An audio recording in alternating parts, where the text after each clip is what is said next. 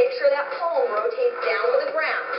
Abdominals are drawn in, working those obliques, pressing it out.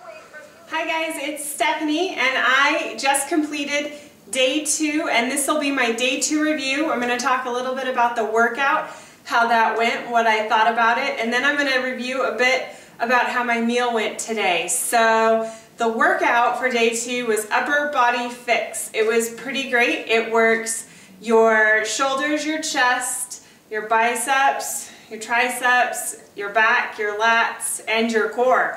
So it was a total upper body workout. It was pretty great. Um, I used the 8 pound dumbbells as my light weights and the 15 pound dumbbells as my heavy weights.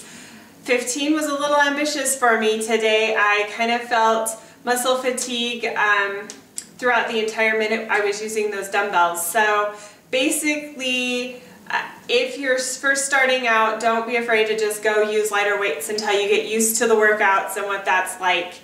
This morning I was tired and I needed a little extra pep for my workout, so I brought my best friend here, a little E and E, endurance and an energy.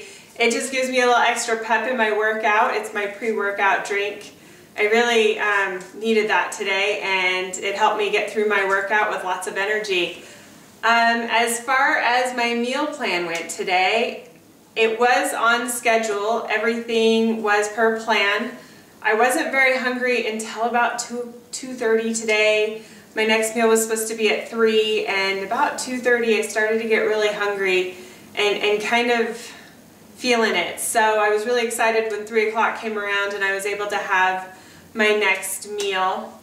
Um, I made sure to drink all of my water. That was pretty awesome to get mo most of my water in earlier today. As you know, it's not always a great idea to drink most of your water later in the evening. So that was my day two. It went pretty well. I'm still impressed with the workout. I'm going to be a little sore tomorrow for sure.